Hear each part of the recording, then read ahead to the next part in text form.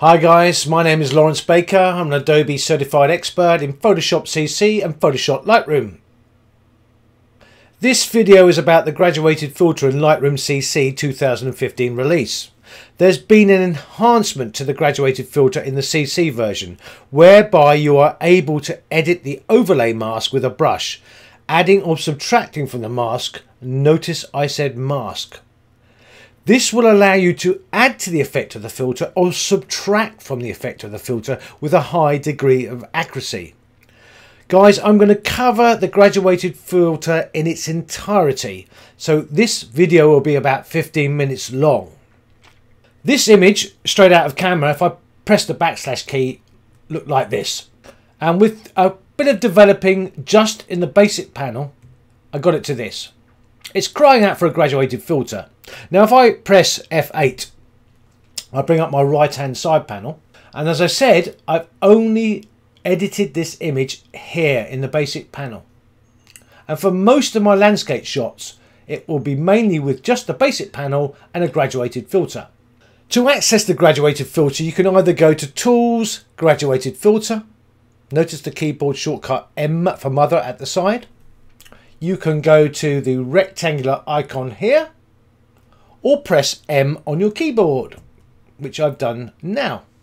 The graduated filter comes with some presets and I don't use them, but you can if you want to. I've, sometimes used Iris Enhance and Soften Skin and Teeth Whitening.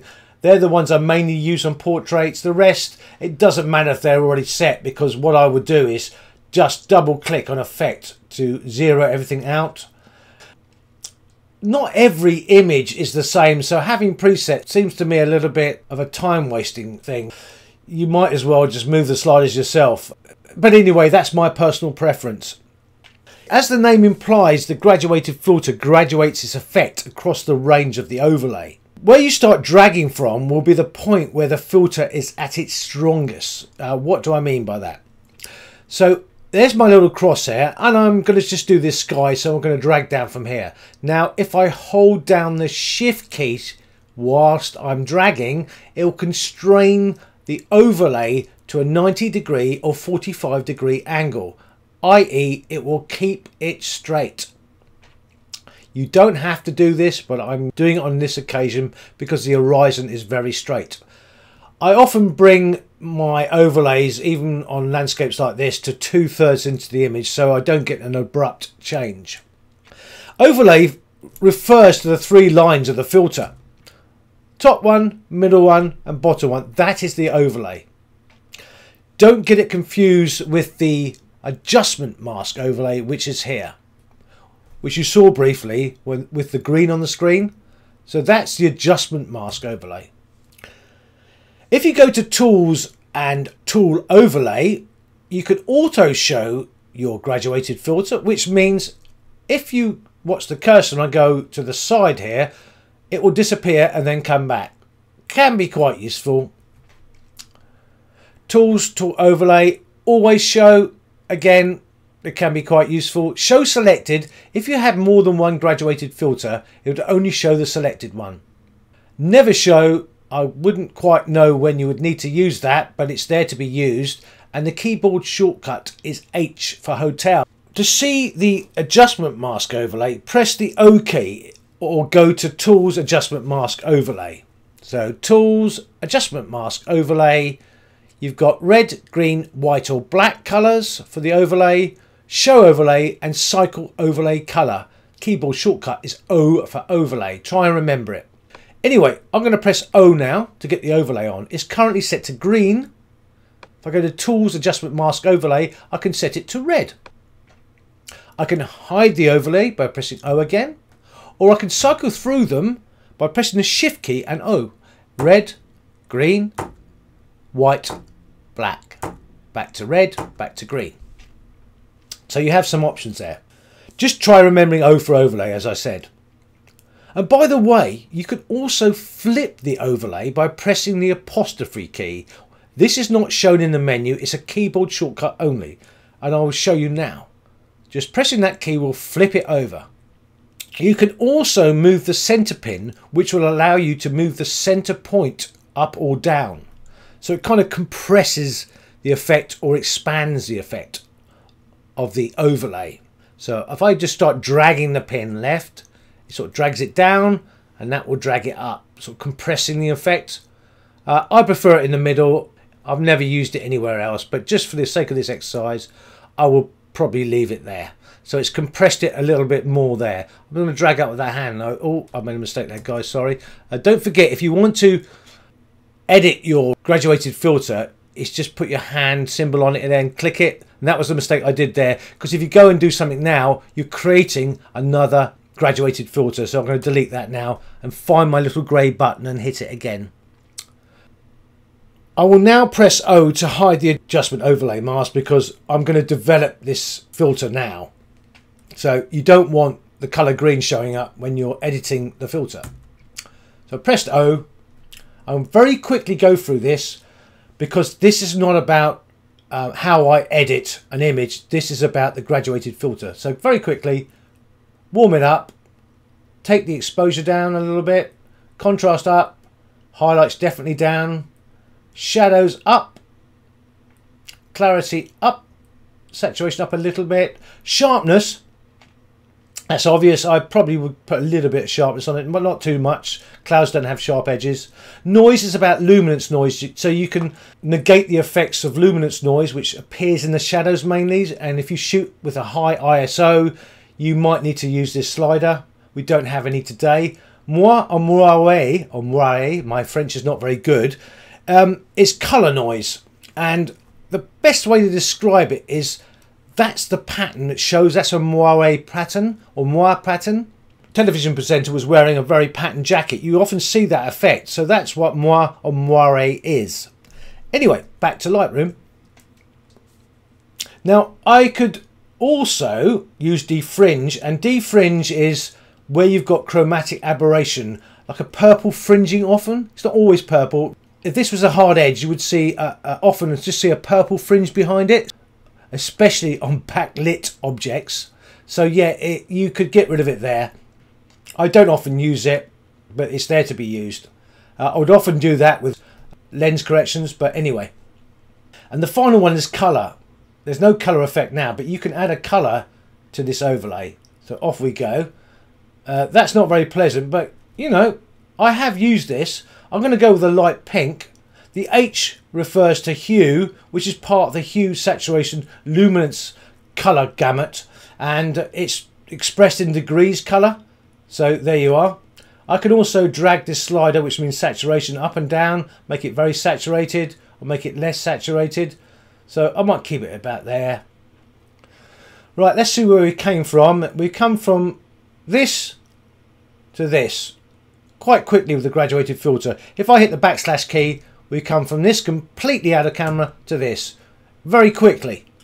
Right, in 2015 Lightroom introduced brushes to edit the overlay mask of the graduated filter and the radial filter. Now the brushes are here. You have two brushes, A and B.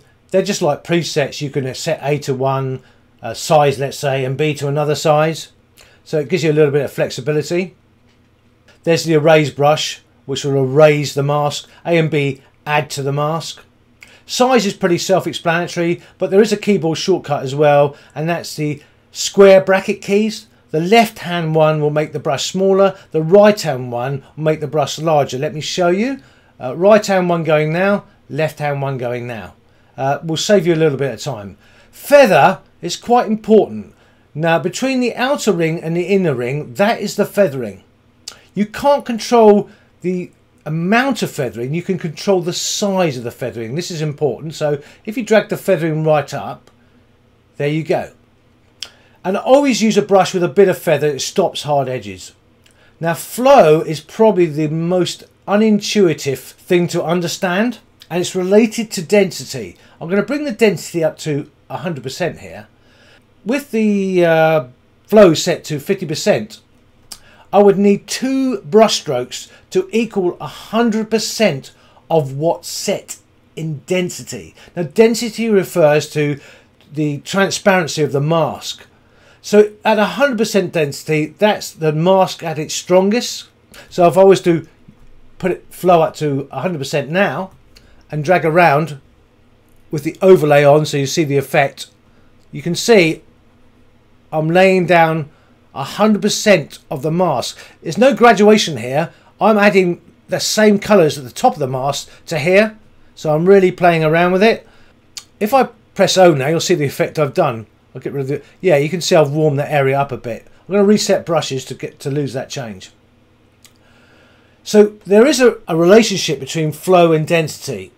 So if flow was set at 50% and density was set at 50%, you will never exceed the 50% density. So flow, if you sort of put two strokes down at 50%, let's say, let me just use this for example, and then put this down to 50% density. No matter what you do with flow, it will never go above 50% density. So I'm going to put the mask back on, the adjustment mask overlay. Now if I go across here and do two strokes, one, two, there's a bit of lag here guys, I'm sorry about that. You can see a bit of green there because I will not go above 50% density. And this can be quite useful to remember because you don't want to end up with hard edges to your edits with this brush.